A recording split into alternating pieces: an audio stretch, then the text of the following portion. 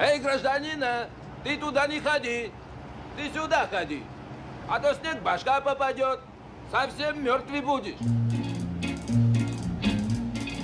Это не просто знаменитая фраза из комедии, а реалии настоящей зимы. Вместе с ней в страну пришла и небывалая опасность. Снегопады, наледь, гололед и огромные сосульки. Их несладкая сторона в том, что при падении они могут не только травмировать, но и даже убить человека. Особо осторожными нужно быть всем без исключения. Неприятные сюрпризы могут поджидать где угодно. Совет от МЧС прост.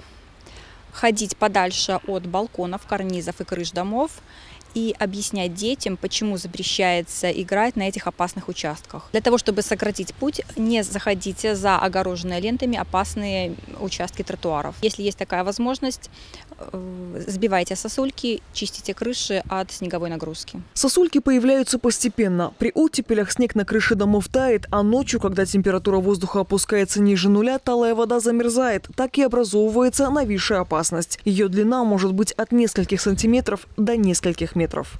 При падении хрустальный наледь может достигать весьма приличной скорости до 60 км в час. Если она упадет на голову прохожему, то в лучшем случае приведет к сотрясению мозга, в худшем – гибели.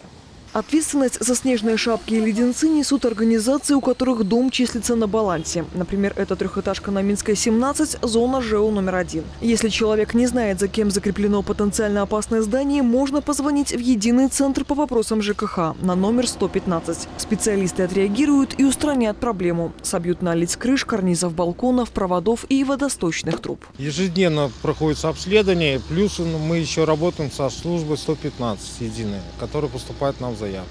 Мы сразу выходим, обследуем, сразу устраняем. Проходим инструктажи охраны труда, даем э, средства безопасности, огораживаем территорию, ставим людей жилетами, чтобы люди не попадали в зону риска.